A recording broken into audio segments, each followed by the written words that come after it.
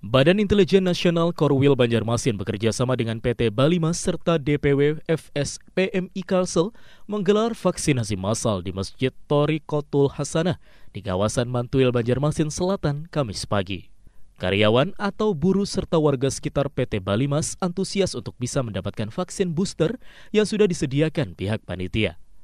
Vaksinasi massal sengaja digelar pihak BIN Korwil Banjarmasin di kawasan perusahaan untuk menyasar para pekerja terutama buruh perusahaan yang juga sangat berkaitan dengan persyaratan dan peraturan kerja. Kabinda Kalsel Brigjen Pol Heri Armanto S melalui Korwil Banjarmasin Alfian Purba menambahkan, vaksinasi ini diharapkan bisa meningkatkan sebaran angka vaksin booster di Banjarmasin, serta berharap bisa cepat mengakhiri pandemi untuk meningkatkan ekonomi daerah.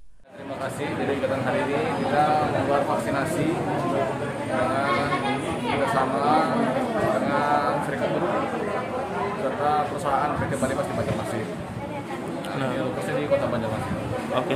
Oh iya, untuk vaksinasi kita memang uh, menyasar kelompok-kelompok ya, komunitas seperti buruh dan juga perusahaan-perusahaan untuk membangun sinergi lah. Jadi vaksinasi ini kan tidak hanya tugas dari kesehatan, stakeholder juga kita minta ikut mendukung kecepatan capaian vaksinasi khususnya di Banjarmasin.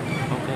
Berarti Intinya sih kita sekarang ini melaksanakan vaksinasi dalam rangka untuk mendukung capaian vaksinasi di masa transisi, ya transisi dari pandemi ke endemi itu intinya. Nah, dan Banjarmasin sejauh ini juga boosternya masih belum memadai ya, jadi kita terus tingkatkan. Di perusahaan ini kita targetkan 200 dosis.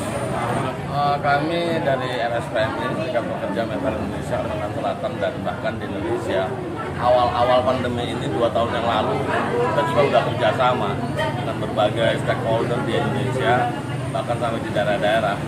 Dan khusus di Bali Mas ini kita kerjasama dengan BIN, GAKI, Gabungan Pengusaha Karet Indonesia, FSPMI sendiri karena buruhnya ya mau tidak mau suka tidak suka karena kita menuju pandemi ke endemi ini uh, harus minimal lah bagi kami ekonomi harus bangkit.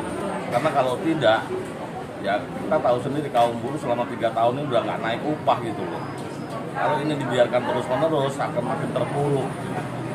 Dan di kesempatan ini juga uh, di Bali Mas kita kerjasama dengan BIN khususnya udah dua kali khusus mayoritas untuk vaksin booster saja. Sementara itu, dalam vaksinasi kali ini BIN serta PT Balimas dan FSPMI menargetkan 200 orang yang bisa mendapatkan vaksin booster. Ade Anwar, Duta TV, Banjarmasin.